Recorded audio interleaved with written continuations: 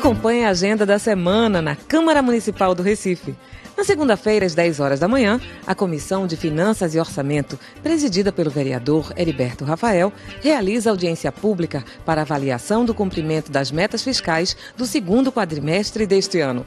No mesmo horário, o vereador Davi Muniz promove reunião solene para a entrega do título de cidadão do Recife ao treinador de futebol Givanildo José de Oliveira. Às três horas, reunião plenária.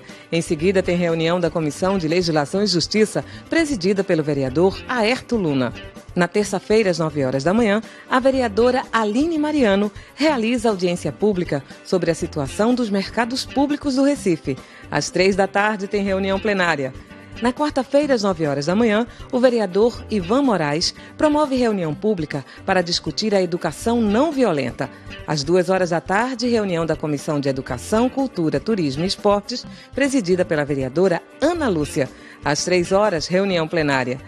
Na quinta-feira, às 5 horas da tarde, o vereador Almir Fernando promove reunião solene em homenagem ao Dia do Profissional do Secretariado. Na sexta-feira, às 10 horas da manhã, o vereador Benjamin da Saúde promove reunião solene em homenagem ao Dia dos Agentes Comunitários de Saúde e dos Agentes de Combate às Endemias. Acompanhe tudo no nosso site e em nossas redes sociais.